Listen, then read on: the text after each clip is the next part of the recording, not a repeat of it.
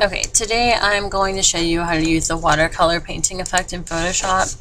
The first thing I want you to do is go to File and go to Open.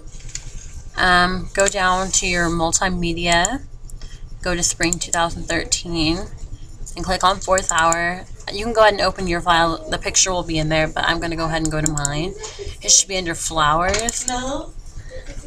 And right now we need to go over to our layers panel and just make sure we have only the background layer. And we need to duplicate that. So I want you to go up to your menu bar and go to layer and go to new and go to layer via copy. That's also the shortcut control J so you can just use that. We'll use that later on in the um, project. Um, so if we look at the panel, we can see the copy layer over here, uh, right above the background. So you need to convert that to a smart object. Make sure it's highlighted blue like it is right there. Um, go to um, the layer menu. Up here, go down to smart objects and convert to smart object.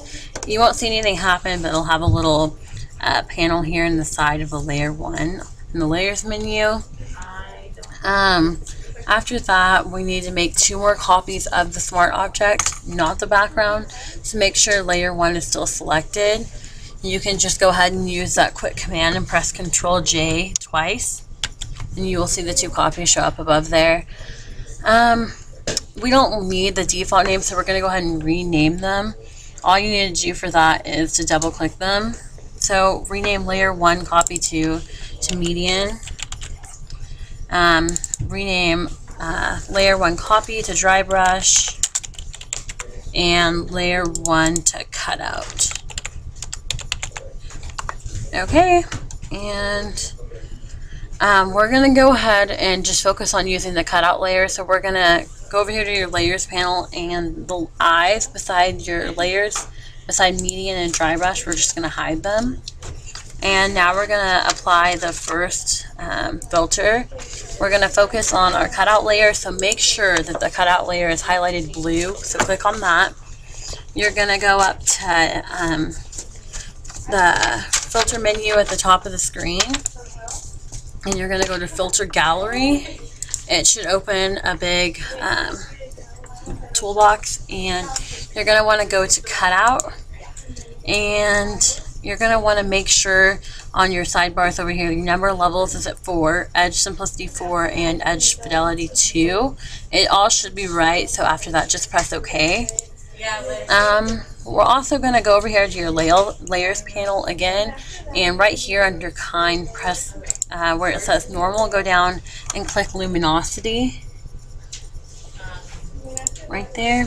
And your painting should look like this right now. Um, so now we're going to go ahead and go back to our layers panel. We're going to unhide our dry brush and focus on working with that. So not only do you unhide it, but you need to click on it and make sure it's highlighted it. So that's what we're working with. We're going to go back up to the menus panel or layer and uh, click filter, go back to your filter gallery. And this time, instead of going to cut out, we're going to go to dry brush you need to make sure your brush size is 10, your brush detail is 10, and your texture is 3. If all of that's right, then press OK. Um, we're going to go back over to our layers panel under kind where it says dissolve this time. We're going to click down and find screen. And that is all for that layer. And your painting should look like this. Um, our last step, we're going to go back over to our layers panel, unhide the median but make sure you click on it so that's the one that you'll be working with. Um, this time we're going to go back to the filter menu, but um, we're going to choose noise and then we're going to choose median. Okay, right here we need to make sure that the radius is 12 pixels and click OK. We're going to go back over to the layers menu and where it says normal you want to click soft light Okay, and with that we're done. Your painting should... oh, I'm sorry. Okay. Okay, and with that we're done. Your painting should look like it has watercolor effect.